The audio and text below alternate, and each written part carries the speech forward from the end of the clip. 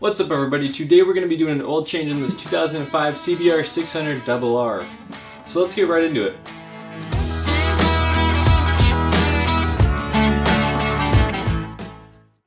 Alright, so the first thing we need to do is take off these fairings. You can do that with a set of Allen keys. Uh, that should get most of them off. You may need a uh, flathead screwdriver for a couple of them. For the most part, they're all Allen keys. and It's not too hard. But before we do that, you might as well go ahead and get all the equipment ready to go. So grab yourself an oil pan, get that dirty oil out with, and uh, your oil we're going to be using, today we'll all be using, is the Rotella T6 by Shell. This is a 5 weight 40. Uh, you're supposed to use 10 weight 40 in the CBRs, but this Rotella is known to be really good with uh, Hondas. So you can go ahead and get this for like 20 bucks a gallon, just a much cheaper alternative. I've been running it in this bike and no problems. Just a heads up though, Rotella came out with a new mixture, so this is what the old one used to look like, the old bottle. Uh, they changed a couple of the chemicals for 2017 based off new regulations in California. So this is what the new bottle looks like, same price, still rated for wet clutches, so you should be good to go. Also for the oil filter I'll be using is the K&N. Uh, part number is KN204. So if you're gonna use K&N, just look that one up about 10 bucks. Also, you're gonna need some wrenches, get the oil bolt off and filter off. And we should be good to go.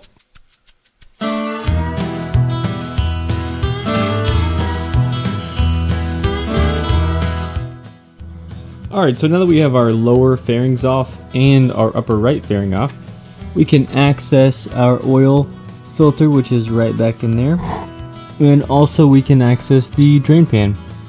Just unscrew that nut right in there and the oil will come flowing out. Now a tip you can do is uh, when you're taking off the oil filter go ahead and place tinfoil on your headers because uh, you don't want to get oil all over them it'll just make it a lot easier for cleanup. So place tinfoil all over the headers as best you can. And also you can start your bike up to warm the oil up make it easier to drain out. Some don't do it, some do it, but I'm gonna go ahead and start mine up and get the oil warmed up. Alright, at this point you can throw your gloves on because we're gonna start draining some oil. Throw your pan under, grab a 12 millimeter wrench, start unscrewing. Also to let more oil out of the drain pan, unscrew your oil cap up here to relieve some pressure and it'll get more oil out faster. Alright, so a little tip when you're unscrewing the bolt is to put the pan out a little bit in front because the oil sometimes shoots out a little farther than uh, you think.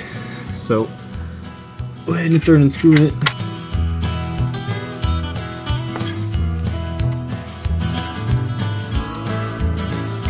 Once you get it loose, you can go ahead and start doing it by hand and be ready to catch it because will start coming out. This is just really thick oil. And then just let it drain till it starts dripping. So one thing that I like to do once you get it down to a drip is to actually start the bike for just a quick second and that will cycle some oil that's left over in those chambers and get it out, but just do it for a quick second.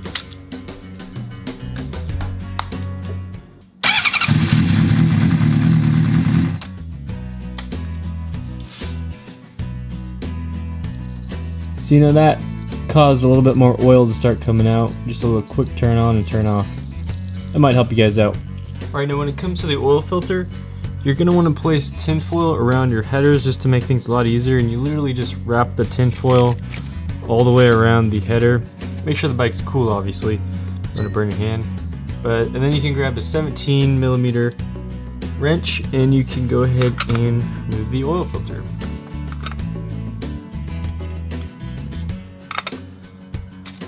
Now if you don't have a K&N oil filter, you're gonna have to have like an adapter to get your oil filter off. You can find those pretty easy though.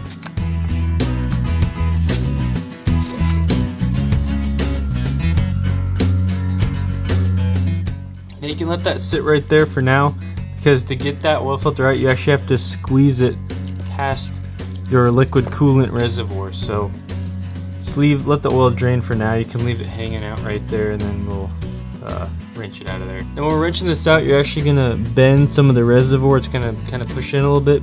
Don't worry about that. It's the, really the only way to get this out.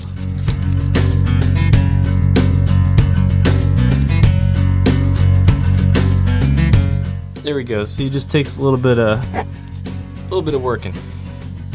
All right, so now we can prep our new oil filter. So go ahead and take it out of the box. Cut this plastic off.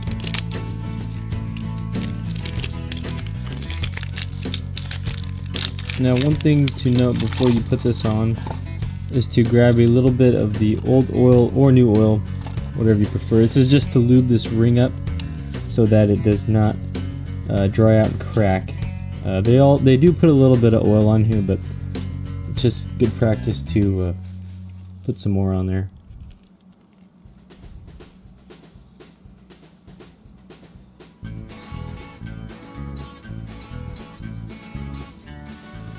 And then you're ready to screw it on. Alright, now to get this back in, you're going to have to do the same thing when you got it out. You're going to have to be kind of forceful and push it through the reservoir.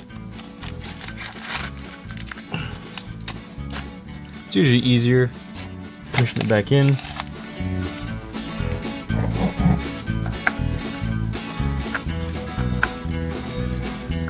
And start screwing it back on. Just get it hand tight and when you take your wrench to screw it on, don't make it super tight so you don't want the uh, ring to crack. Alright, now the next thing we need to do is to put the drain bolt back on. So once it's come down to really slow drip, you can pretty much assume that most of the oil is out. So we'll wipe down a little bit of the oil off the paper towel and we'll put the bolt back on. Now you can replace your drain bolt washer. Some people do, some people don't. Um, I usually don't just because I'm too cheap, but you can do it for the peace of mind. You think your bolts or your washers go out. Now same with this one, you don't want to tighten it too tight, but you want it um, tight enough that it's not gonna vibrate loose. Alrighty, I think that's tight enough. Now we start pouring the oil back into the bike. And since we got one gallon of Rotella T6, there's four quarts in a gallon. Now you just read the back on here and take this down to one. But if you bought your oil in the quart bottles, then you just pour about three in there. It says to do 3.1, but you'll be safe with three quarts. Uh, so once you pour three in there, turn the bike on and look at the oil level and see where it's at. Grab yourself a funnel, make sure it's clean, and set up the pouring.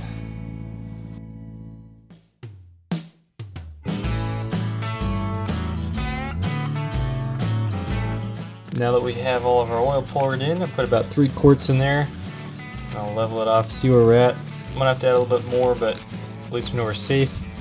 Just don't want to put too much oil in, then you're running into trouble. Kind of wipe oil out of here, and screw your cap back on.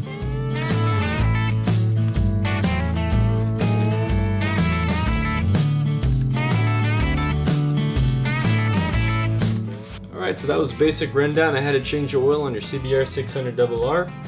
Next thing to do would be to throw your fairings back on and make sure all your bolts are tight and then you're ready to ride. Hope that helped you guys out if you're looking to change your oil. Make sure you do this about every 3,000 miles on a CBR 600 and uh, you'll be golden. Hope you guys liked the video. If you did, please feel free to like the video or drop a comment down below and I'll get back to you. Until next time guys, make sure you're riding safe.